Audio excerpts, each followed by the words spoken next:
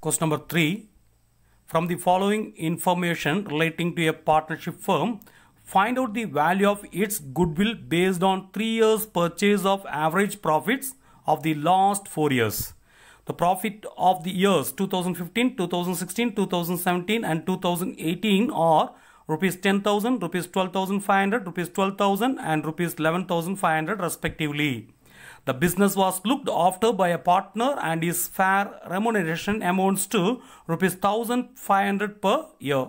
This amount was not considered in the calculation of the above profits. So in this question, year of purchase is given, 3 year purchase. That should be noted. Second, the profit, 4 year profits are given. Then one more adjustment is given here, 1500 rupees remuneration to the partner, working partner. So that is not adjusted in the profit. So you should adjust in the profit before calculating goodwill. So இப்போ நம்ம வந்து goodwill கண்டுபிடிக்கிறதுக்கு first average profit கண்டுபிடிக்கணும் average profit average profit is equal to total profit total profit divided by number of years number of years That is equal to total profit. Every year profit add பண்ணலாம். So it is given that 10000 plus 12500 plus 12000 plus 11500 இப்படி நாலு year profit கொடுத்துருக்காங்க. Take add all the profit one two three four years number of years are four இப்போ add பண்ணலாம். Ten thousand twelve thousand five hundred twelve thousand plus eleven thousand five hundred totally 46,000 divided by 4. So that is equal to, so 1 4s are 4. Then again 1 4s are 4, remaining 2. So 2 means 20. In 20, 5 4s are 20. So 1, 1, 5 and 2 zeros. So the average profit is 11,500. This is the average profit. This one is average profit that is before adjusting remuneration. Before uh, adjusting remuneration.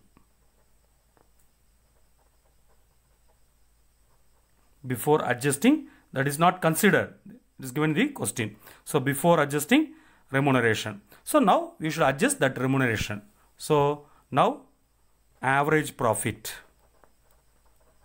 Average profit is equal to average profit average profit before adjusting before adjusting remuneration minus remuneration.